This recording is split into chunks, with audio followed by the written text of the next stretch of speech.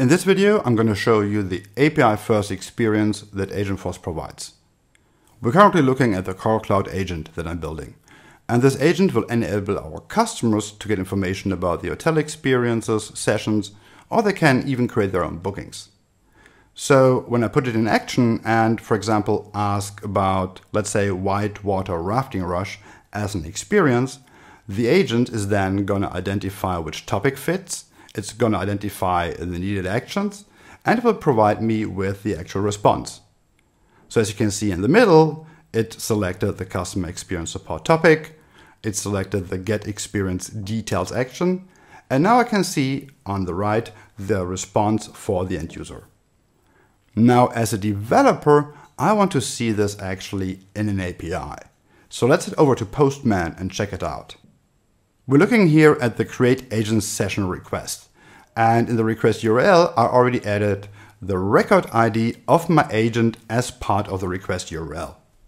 So when we initiate the session, I will immediately get back not only the initial response, I will also get a session ID.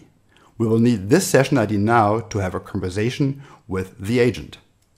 So I'm going to copy it and I'm going to head over to our synchronous message request. I'm to add the session ID that we just received and let's have a conversation with our agent.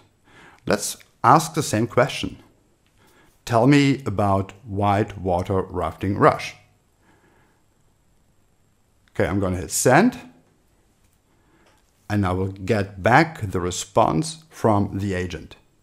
It's not only that I receive information now about the experience, I also get the opportunity to actually book it. So I would say, let's continue the conversation and let's book it.